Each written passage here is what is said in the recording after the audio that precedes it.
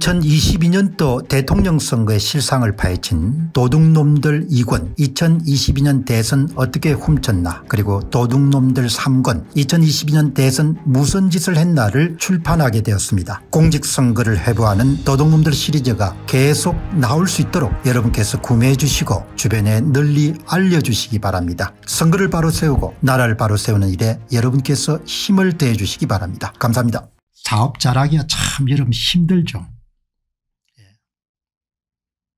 재벌을 일으킨 그런 창업자 세대는 바닥부터 여러분들 올라간 사람들인데도 많이 이렇게 망하지 않습니까 이 세가 되면 은 좋은 교육을 받죠. 대부분 미국 교육을. 그리고 예술적인 그런 취향이 좀 좋아집니다. 예. 그런데 사업가로서의 수완이라는 것은 창업자 세대와 크게 비교해 보면 많이 떨어지죠. 그래서 예, 1세대가 어느 정도 재산을 물려주고 나면은 그 재산을 대부분 조금씩 가지고 어떤 사람 많이 가지고 각자 여러분들 물려받은 사업체를 가지고 사업을 키우지 않습니까? 그 가운데 이제 예, 흥망성쇠가 가리지 않습니까? 삼성그룹만 하더라도 그 첫째 둘째 셋째 세 번째 여러분들 집안이 굉장히 많이 어려워졌죠. 세한그룹이죠. 세한그룹. 예. 김신혜님은 공박사님 건강하세요. 저도 요즘 나라 끝에 분노하다 보니 숨 쉬는 것도 힘들 정도입니다. 어, 저는 다 내려놨습니다. 내려놓고 내가 뭐 이렇게 화를 낸다 해가지고 나라의 진로가 바뀌는 건 아니니까 내가 할 수 있는 범위 내에서 최선을 다하지만 나라의 진로라는 것은 유조선이 여러분들 나아가는 것과 비슷해 가지고 진로선이라는 것은 그 나름대로의 방향을 갖고 움직이는 거죠. 그러니까 건강을 상할 정도로 그렇게 하실 필요는 전혀 없는 겁니다. 유쾌하게 그냥 하고 최선을 다해서 하는 거죠. 오늘 이 법정관리에 들어갔네요. 여러분들에게 익숙한 아나운서로 아주 명성을 누렸던 노현정 씨의 남편 되시는 분이 일대주주네요. 일대주주. 그러니까 뭐 다른 계열사를 갖고 있는지는 모르겠지만 아마 제가 볼 때는 이게 주력 기업일 거다 이렇게 생각합니다. 그 신문에서 자주 나오지 않습니까 이분이 신랑 되는 분이고 예, 이분이 이제 노현정 씨죠. 우리 함께는 생소한 회사인데 HNINC라는 그런 회사입니다. 예. 건설업도 하고 중견 건설업체 그리고 뭐 다른 소소한 이야기를 전 대선 씨가 하는 중견 건설업체네요. 사업 중에서도 건설업이 참 어렵습니다. 건설업은 경기 사이클이 굉장히 여러분들 길기 때문에 자금이 물리거나 그렇게 하게 되면 은 그냥 회사가 그냥 검시에 넘어가 버리는 거죠. 그 건설업체로서 오랫동안 살아남는 것은 정말 엄청난 내공을 갖고 있는 회사다. 그렇게 볼 수 있는 것입니다. 자, 이 보시게 되면은 이게 범현대가의 노현정 남편 건설사 법정관리 신청 사실 회사가 법정관리에 들어간다는 것은 지배주주의 주식들이 다 거의 그냥 뭐 가치가 없어지는 것을 뜻하는 것이죠. 이게 다르게 표현하게 되면 법원의 판결에 따라서 뭐 회생 절차에 들어갈 수 있지만 사업적으로는 거의 회사가 망했다 이렇게 볼 수도 있는 것이죠. 예. 망했다.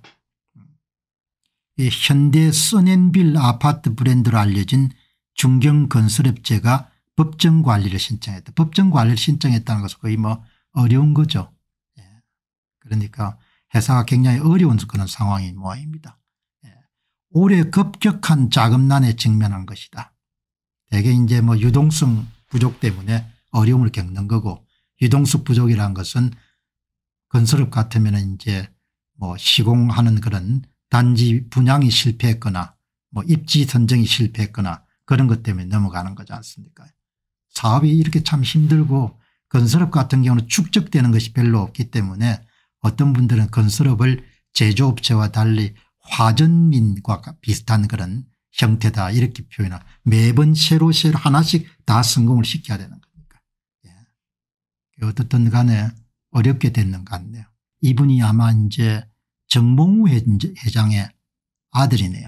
아버지가 좀 오래 살면 좋은데 아버지가 좀 오래 살면 이분이 일찍 돌아가셨죠. 베토벤과 모차르트 님이 법정관리란 것이 뭔지를 잘 이야기해 놨네요. 파산으로 가면 결국 주식의 가치는 제로가 되겠습니다. 그리고 회생으로 가닥이 잡히더라도 기존 주주 주식은 전부 소각됩니다. 그렇게 하지 않으면 채권은행들이 자금 지원을 할 리가 없습니다. 물론 다른 재산도 있겠지만 이렇게 채권단의 대부분 다 경영을 맡아서 하게 되죠. 그리고 나서 뭐 거의 회생이 잘 안 됩니다. 회사 채무의 연대보정이라고 썼다면 집안의 경제 자체가 힘들어질 수도 있습니다. 이런 이야기를 했네요. 예. 오늘 항상 이렇게 언론들의 그런 초점이 되었던 노현정 아나운서가 참 그동안 잘 살고 있다 이렇게 생각했는데 그 남편 되시는 분이 뭐 자세한 내막은 알 수 없지만 중견 건설업체가 법정 관리에 들어갔다는 이야기는 근래 부동산 경기 불황하고도 굉장히 깊게 연관이 돼 있고 뭐 법정 관리에 들어가게 되면 거의 뭐 재산 가치는 거의 없어지는 거니까 자 뭐 이게 세상 이란 게 참 아슬아슬합니다. 아참 그냥 망하니까. 자 여러분 오늘 뭐 여러 가지 말씀을 드렸는데 제가 이제 어 한 30일이나 31일 정도의 서점가에 깔릴 거고 이거는 뭐 특별하게 의미가 있죠. 이번에 이제 2020년도 4.15 총선 그 문제 많고 많았던 4.15 총선의 3주년이 이번 4월 15일입니다.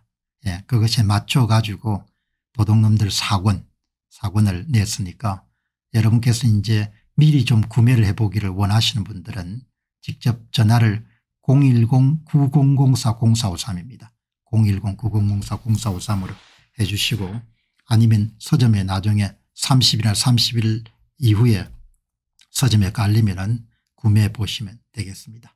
어떻든 제가 우직하게 뭐 큰 인기를 끌지는 못했지만 7권까지 예, 교육감 선거까지 완결해 가지고 예, 저로서는 지난 3년간의 활동을 총 정리하는 것이고 그다음에 두 번째는 문제 해결에 관계없이 예, 유튜브 방송이 아니라 책으로 예, 역사적 자료로 모든 점검물들을 집대성에가 남기는 것이고 마지막 또 한 가지, 한 가지는 제가 나서 자랐고 많은 은혜를 입은 예, 그런 조국이죠. 자신이 나서 자란 나라에 대한 다른 사람은 어떻게 행동하는지 모르겠지만 지식인으로서 자신이 맡은 바 소임을 야무지게 수행한 총 집대성한 그런 결과가 지금 여러분 보시는 도둑놈들 시리즈를 통해 가지고 대선 지방선거 총선 예 그리고 이제 교육감 선거까지 다 여러분 정리정돈해서 여러분 말씀을 드린 겁니다. 자 여러분들 나라가 참 잘 돼야 오늘 이 방송 보시는 분들 노후도 안녕할 것이고 자식들이 좀 더 날개를 펼 수가 있겠습니까 예. 그렇기 때문에 제가 자주 이렇게 정치 문제를 다루는 이유가 나라가 좀 잘 될 수 있는 그런 부분에 힘을 다하자는 그런 의도니까 여러분께서 널리 이해해 주셨으면 좋겠습니다. 대한민국 공직선거의 문제점을 파헤친 첫 번째 책을 펴냈습니다. 제목은 도둑놈들 1권 선거 어떻게 훔쳤나 2017년 대통령 선거로부터 2022년 대선과 지방선거까지 전산 조작을 이용해서 후보별 득표수를 어떻게 조작했는가를 낱낱이 분석한 책입니다. 선거를 바로 세우고 나라를 바로 세우는 일에 여러분께서 힘을 더해 주시기 바랍니다.